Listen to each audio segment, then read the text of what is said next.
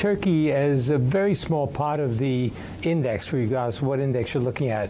So uh, uh, the the good news is that the ETFs are not forced to sell down. Uh, because of a decline in the Turkish market and the Turkish lira. So that's the good news. Uh, the bad news is that if Turkey is forced to close the foreign exchange window so that foreign investors cannot get out.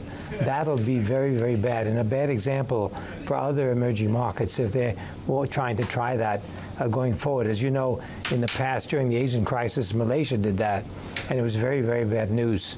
So this is something we have to watch very carefully. But the bottom line is that, you know, this right, is bizarre politics. Uh, you know, Erdogan and Trump are bargaining uh, for this uh, uh, pastor. And of course, Erdogan wants Trump to give up Gulen.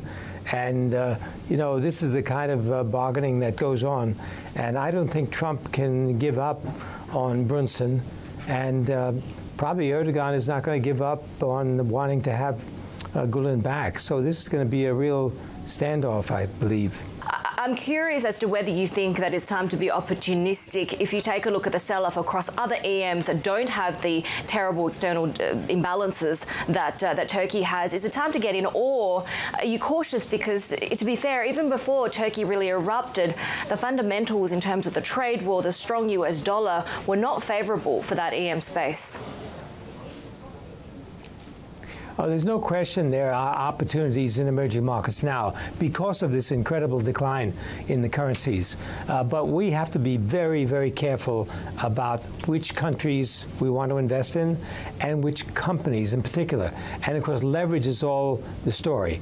We have to be careful not to be investing in companies that are heavily leveraged.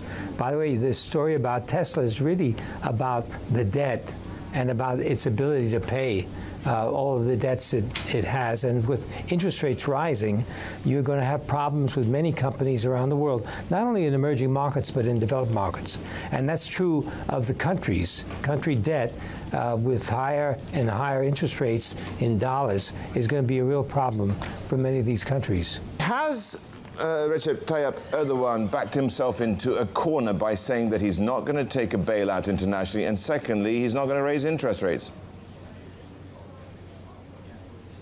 Well, this is the problem, and uh, it seems to me that the only opening for him would be to uh, give up on uh, Gulen and return the uh, Brunson, return the, the pastor to the U.S. That would be the best alternative for him.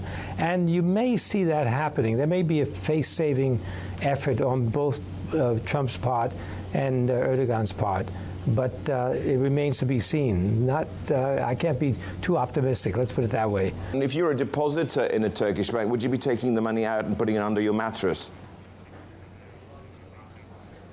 Um, I am a depositor in a Turkish bank, and uh, I've got most of the money out, but I'm keeping some in because I think longer term Turkey is going to be an interesting market to be in. Uh, but uh, if you've got a Turkish lira, of course, you're losing. Uh, in my case, I have uh, U.S. dollars and a little Turkish lira, so I'm in pretty good shape. But I'm concerned about any currency controls if I ever want to get that money out. Wouldn't be uh, the near future, but anyway, this is something we would have to look at.